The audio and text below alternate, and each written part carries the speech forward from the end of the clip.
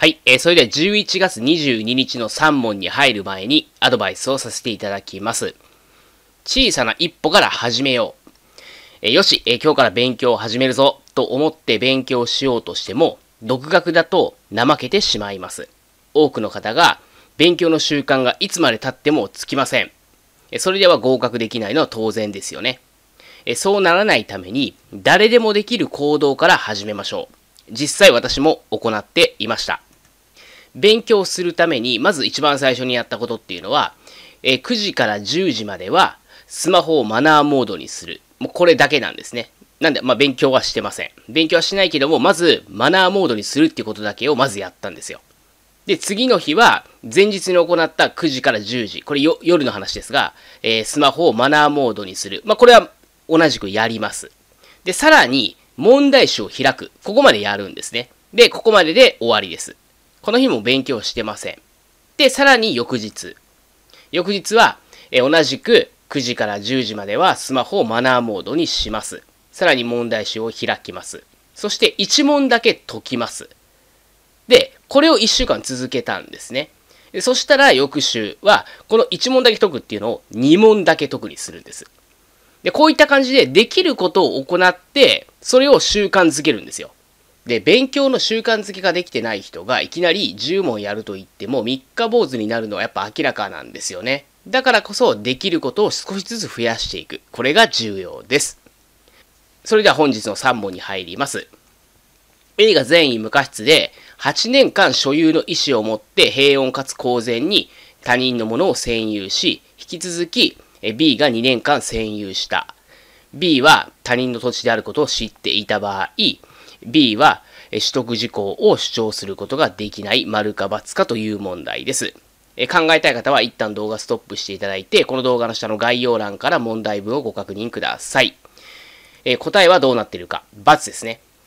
取得事項を主張するもの、まあ、今回で言ったら B なんですけども、B は前の占有者 A の占有期間を合わせて主張できます。これ占有期間の承継って言うんですけれども、つまり、今回 A さんは8年間占有して、B さんは2年間占有しているということなので、B は10年間占有したことになります。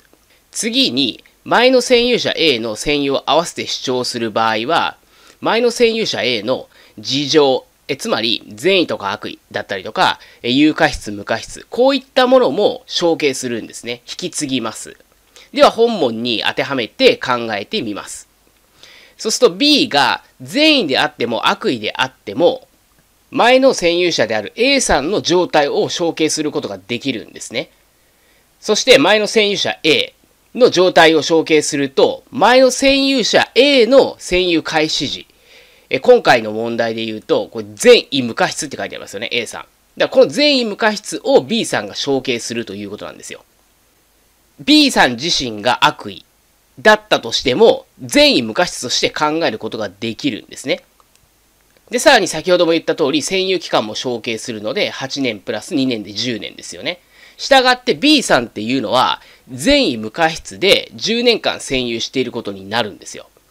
でそうすると、善意無過失で10年占有するということは、時効期間満了するので、時効取得を主張することができます。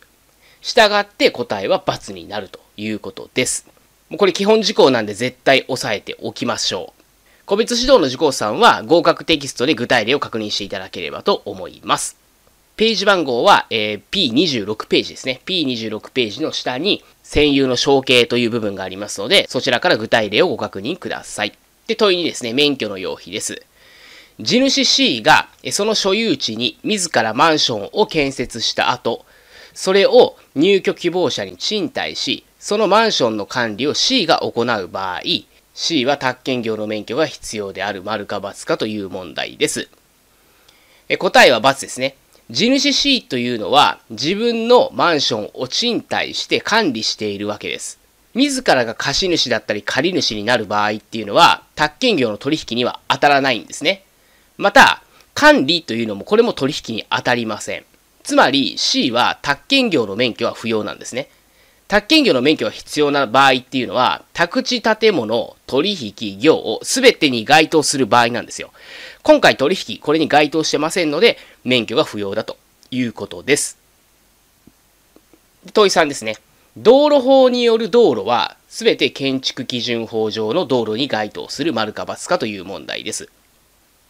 道路は道路でも、道路法による道路と建築基準法上の道路っていうのは違うんですね。道路法上の道路と建築基準法上の道路は違うっていうことです。これどういうことかっていうと、道路法っていう法律に道路っていうものが定義されてるんですね。道路とはどんなものを言うのかっていうのが定義されてます。一方で建築基準法においても道路って何を指すかが定義されてます。この道路の定義が法律によって異なるんですね。例えば、幅が3メートルの道路。まあ、狭い道路ですよね。このような道路っていうのは道路法上の道路であったとしても原則建築基準法上の道路ではないんです。つまり建築基準法で考えるとこの幅3メートルの道路っていうのは道路じゃないんですよ。まあ、しかし、4メートル未満の道路、まあ、この3メートルの道路ですよね。福音3メートルの道路であったとしても、特定行政庁が指定した道路については建築基準法上の道路になります。まあ、特定行政庁っていうのは、まあ、知事だったりとか市町村長っていったイメージです。今回の問題文で言うと、道路法による道路っていうのは全て建築基準法上の道路に該当するって書いてあるので、これは誤りですよね。該当しない場合もあるから誤りだということです。宅建試験は理解できれば合格できます。理解せずに勉強し続けたとしても、なかなか合格するのは難しいです。理解をすれば勉強は楽しくなるし、また合格もしやすくなります。具体例を使ったりイメージしたり理由付けをしたりして勉強を行っていくのが理解学習です難しいな何言ってんのか分かんないな実力が上がってる実感がないなもしそう思われているのであればぜひ個別指導ご検討ください個別指導では理解学習を行って一段一段実力を上げていただくことが可能です。もしあなたが次の試験で合格したいというのであれば一緒に勉強できたら嬉しいです。